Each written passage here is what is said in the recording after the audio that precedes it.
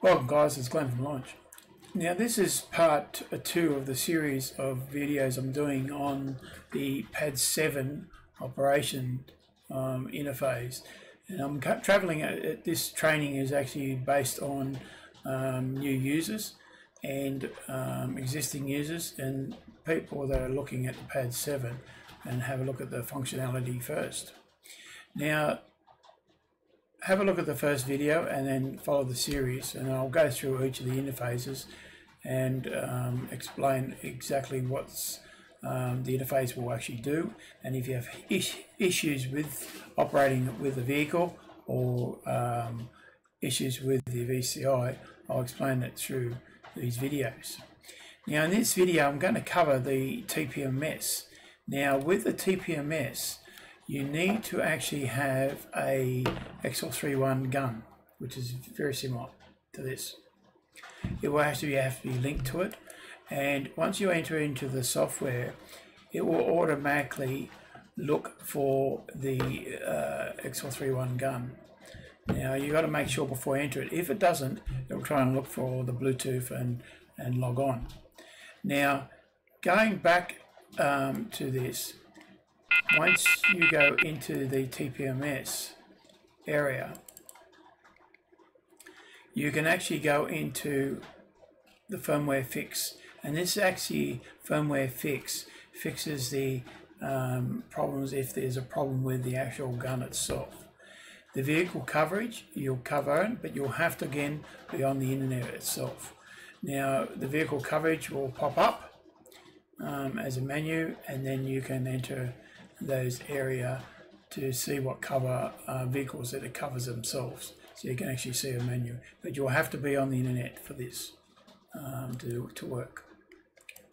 And as I mentioned, once you go into the software itself, um, you can then uh, program your TPS sen uh, sensors and also clone it. So it's just a matter of going into the menu, you select the vehicle, uh, the series, so for instance, and then it'll give you up the menus regarding programming and learning. So if you're cloning a sensor, uh, an OEM sensor to an aftermarket sensor, you can do it with the uh, X431 gun and the TPMS program on the pad 7 and you just hit into learning and follow the instructions. Now this will go also with the manual entering of the system itself. So a bit of information regarding how to program those sensors to that vehicle maybe in this area itself under the learning process. So that's the TPMS area. But again, if you have issues with the TPS gun, you can do a firmware fix or make sure the Bluetooth is being linked. If it's linked to another vehicle, you have to unlink the uh, TPMS gun to uh, the tablet, I should say, sorry, um, to that tablet, unlink it, and then link it to your Pad 7 itself. We'll just exit out of this, and we'll go out. I'm just returning back. Now, I mentioned earlier the diagnostic history itself. Um, we don't need to go in it. Have a look at the first video for that. Now, the service functions.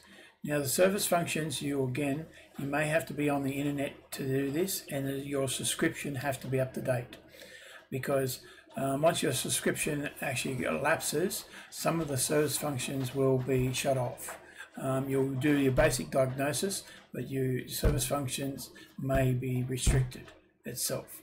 So um, regarding the service functions, it's a shortcut and makes sure it's quicker and easier when you're doing your services.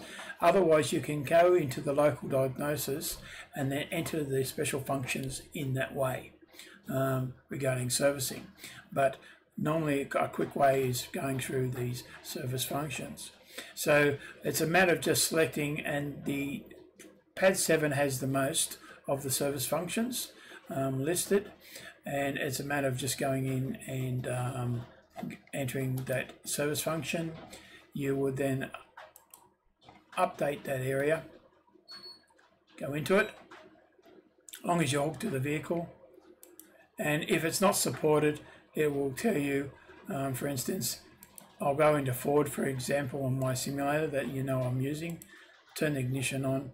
It will actually search for this function. If it doesn't have that function it won't it won't do it it won't go into it. And if you thought that it should go into it you can use the feedback to go back into it and, and, and let headquarters know that there is an issue. So again you'll get this all, all area and you can actually send a feedback if it doesn't work. But most cases like this vehicle this simulation doesn't have this feature and I know that so we'll go back and we'll go into the next area now as I mentioned before uh, a lot of these functions are shortcuts and you go into different areas but you must meet the criteria and especially like DPFs um, once you go into a DPF area, you must make sure the engine's temperatures and everything are right to meet that vehicle's criteria.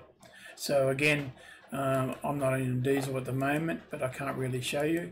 But it'll enter the vehicle like normal, and then it'll check to see if this function is available um, on this particular vehicle. And normally, if it's not, it'll, it'll report back that I can't find this function um, or it's not listed itself in the in the database itself. So it's searching now and then again this, this vehicle that is not a diesel, so um, the function can't be carried out. And I'll go out of this. So next thing is it will go into is the the Mall I explained earlier in the uh, last video regarding the um, if you need to purchase special software. The PAD 7 usually uh, caters for all, uh, most of the service functions that we do. Um, it might have Tesla and I think, which is a special uh, vehicle application. So not everybody works on the Teslas, and you have to have a um, connection to the Tesla for that. So that I have to be purchased separately.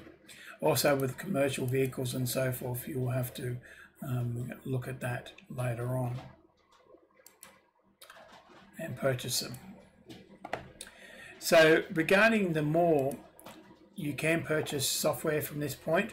Um, so you go into packages um, and then enter that way, as I mentioned before. So we'll just go out of this. Now feedback. Feedback is one of the things that um, you need to get used to. This is the feedback to development of the software and helps us uh, fix the issues if there's issues or because we haven't done the development of that vehicle we may need to know. So how this works is we've got feedback every time you enter a vehicle it's actually recorded into a feedback area and then you can actually retrieve um, and make a report up and, and, and send the results to us which is the headquarters itself for development. So for instance, if I entered Ford, I will then have a, this menu pop up. I can then load the last files that I want to send and then press OK.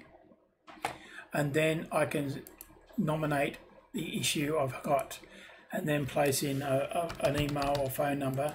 And what this does, this will actually then um,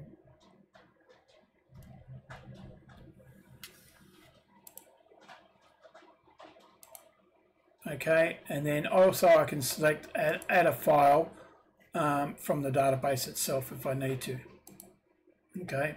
So and then once I do that I submit it. And then what this does it will go into the history area. So you select history and you'll see the last ones that I've sent. So this gives you the progress of where they are. So at the moment they're just been pending. And if you wanted to see the, the pending notes it'll go here and a reply will actually come back here and what they're doing in the next process and if they've done something about it or move on it's in process and then done and done usually that the software may be in the next version of software itself and download it to that version. It doesn't take overnight because some problems you cannot fix overnight. It has to be checked and tested and confirmed that the problem is there or something else. But this is the process how we get the, the data um, regarding your issue that you have on that day. and the offer list will be also um, listed there. But that's the feedback that if you have a problem with the software or a car issue not going in by the um, VCI, you would do the feedback itself because the dealers would ask for the feedback itself. Now the next one I'll cover is ADAS. ADAS itself um, is a calibration you need to purchase the calibration kit which will come with targets and the ADAS and if you go to um, passenger vehicle you can actually look at click on ADAS calibration enter and you'll need to activate it if you don't activate it um, you just ignore it. It will go back and you can do a quick check on it. So I'll go into here now. This is on the pad 7 it's entering the vehicle now that I've got. And it's actually going to check to see if this vehicle has ADAS on it.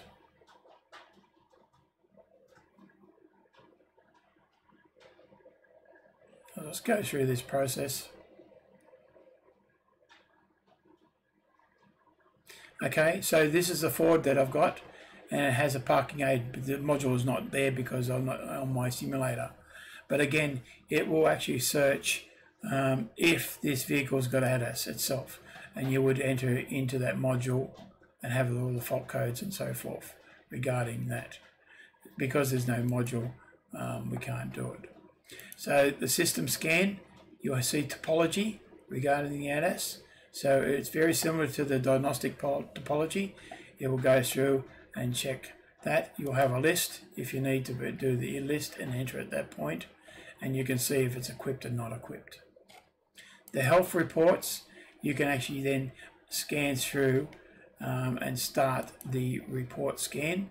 So on my simulator, because I don't have all ADAS, it should come not equipped to any of these and then equipped um, show up are a fault. So you can actually see there's a fault in the instruments. So it's actually doing a scan on each of the modules um, and give you a report. So you, again, it's another way of doing the fault codes themselves. And then you'll do your report like normal and it'll be a pre report or post report or scan report um, regarding that. And it'll come up like normal. So we go into it and you see it's like a normal report.